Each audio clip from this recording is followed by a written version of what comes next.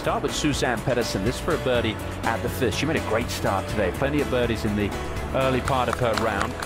Yeah, that was two at the first part, three on the golf course. Past winner here. Pettersen won two years ago at Whistle Bear. And she made a good start to the round, Judy. Five birdies in the first seven holes for Pettersen. Beautiful putting. She may have felt like there was a lower number out there. She made five pars to finish the day.